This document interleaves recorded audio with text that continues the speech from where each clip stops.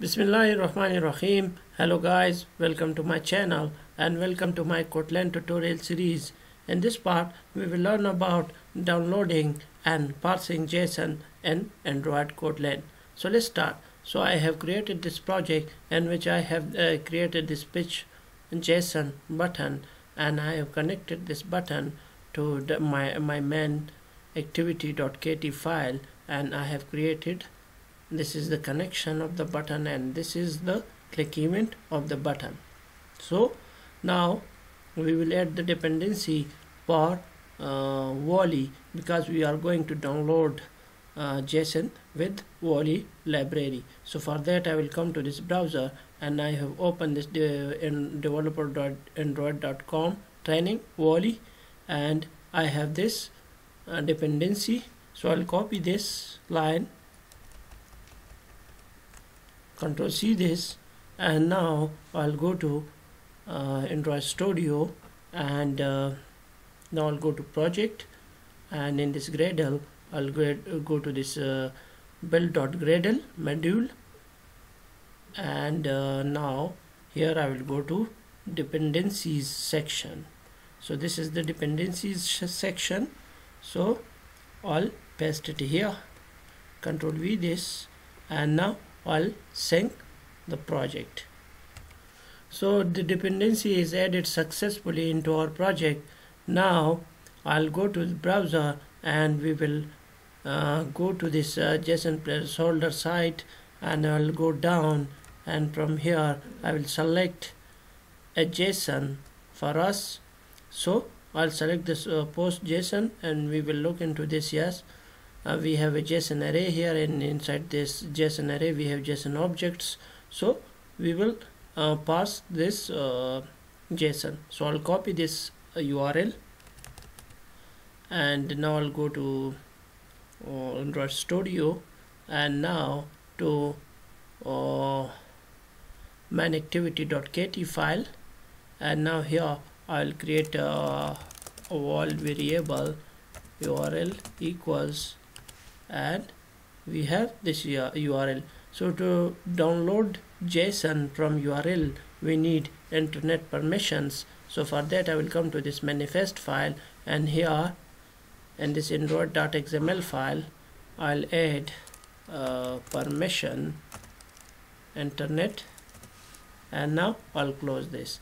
Now we are good to go. So I'll go to this main activity.kt file and here down outside this I'll create a new function.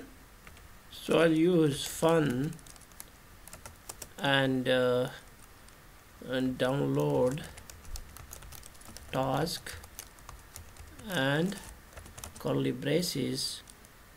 And now we will write down our code here for downloading JSON.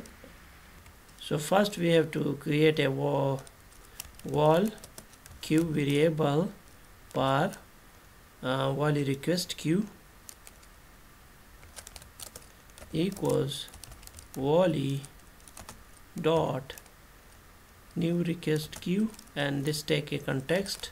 So I'll use this and then we will create a request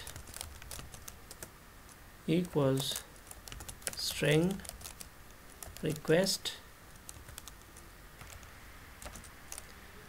And now here it takes some uh, parameters. So first is take the request method. So request request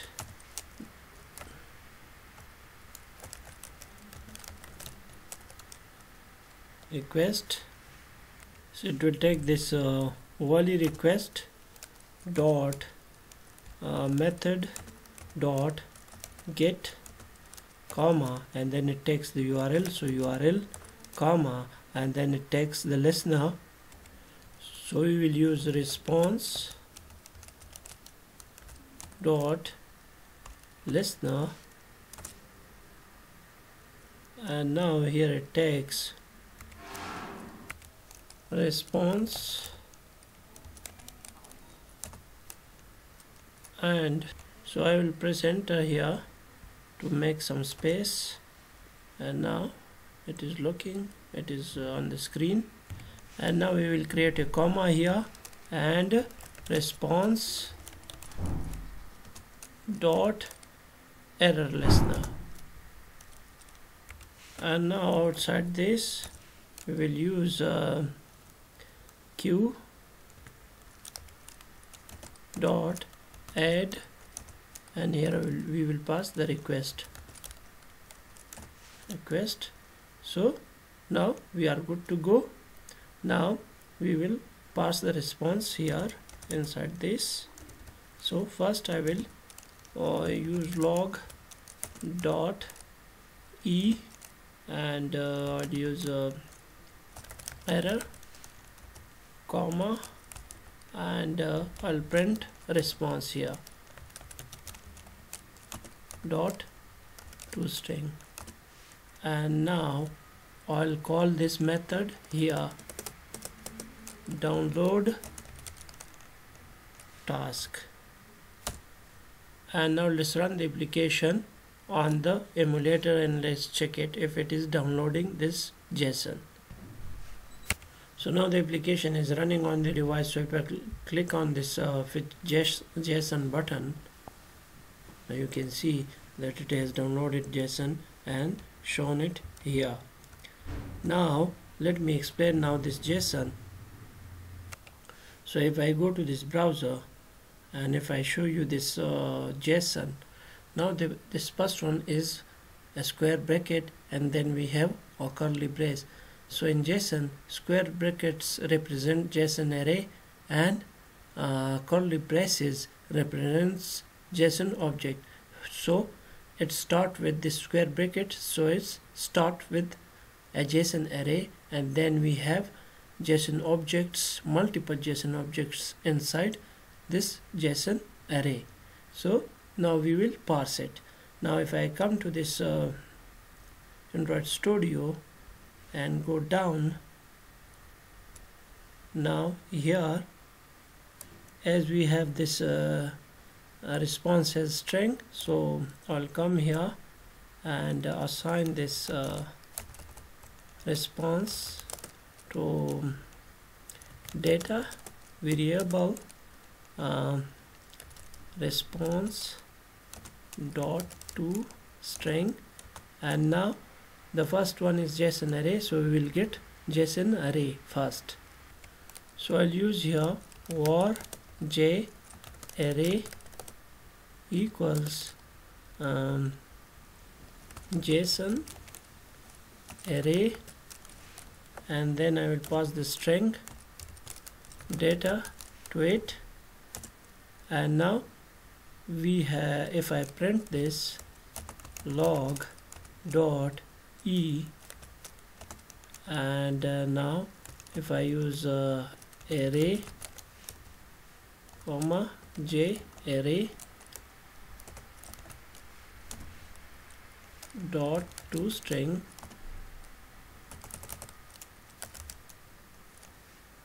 String.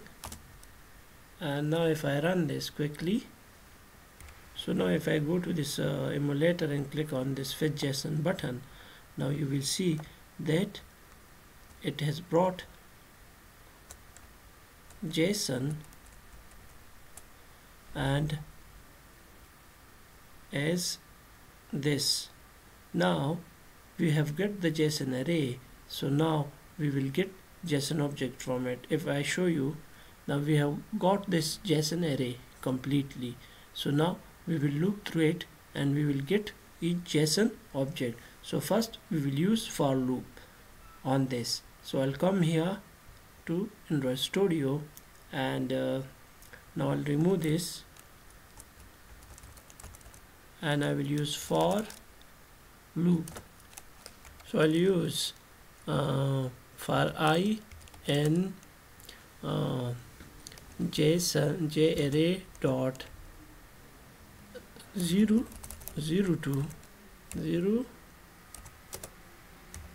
dot dot and j array dot length minus 1 and then we will use curly braces. And inside this we will get each object. So I'll use here var j object equals um, j array dot get json object. At i index and now if I print this object. So we now it will print as this object by object. So first I have to give it a tag. So I'll use uh, j object. And then comma j object. Dot to string and now if I run this so the application is running again. So if I come here and click on the switch uh, JSON button now you can see that object is shown here and we do not have any JSON array here. And now the other object is this one and then the other one is this one. So it loop through each uh, object and print it here. Now we will get data from each object. So I'll remove this line of code. And now if I go to this browser now you can see we are at this object level. So we are getting object one by one. So now we will get these uh, values these from this object. So I'll come to Android Studio and now here I'll use war. And we have this user id so user id equals um, um, j object dot get uh, string. Id is not string. It is uh, int so I'll use int and here I will give it user um, ID is capital and then similarly I will get the ID so ID equals uh, JSON object dot get int and then I will pass in the string key which is ID and then we have uh, I'll copy this. And control C this and paste it here. And then we have this uh, as title. ID and this will become title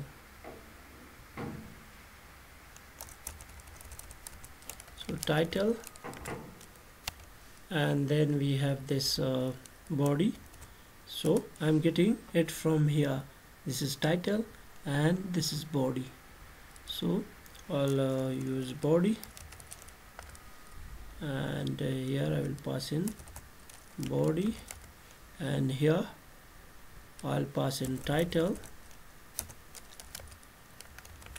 And now I'll print each one of them. So log dot uh, e and uh, I'll use um, user id comma user id dot to string. And now I'll copy this. See this? And now I'll control V it here and again and again. So now I'll uh, print uh, id and this will become uh, id and then title.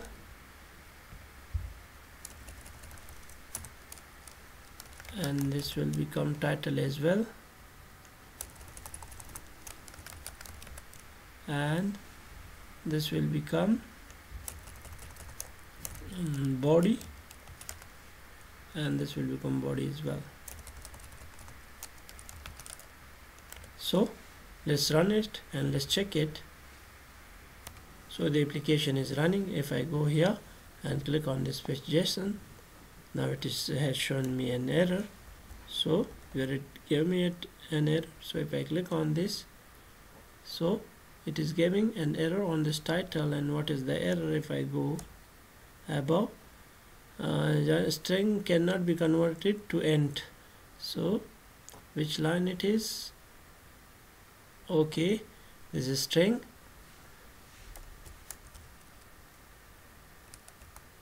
Title is string. So I'll make this string get string. And this second one as well. This um, one body is also a string. So string and now if I run it again now it is running again. So if I go here and pitch now you can see that all the data is fetched and uh, is printed. So if I show you if I expand this uh, logcat now this is a single object from here to this this area. This is the user ID this is the ID this is the title up to here and this is the body up to here. And similarly this is another object and so on. So that's all for today. I hope you like the video. If you like the video please like subscribe and comment. And the next video in the next video we will be creating a list view from json data using the Volley library. Thank you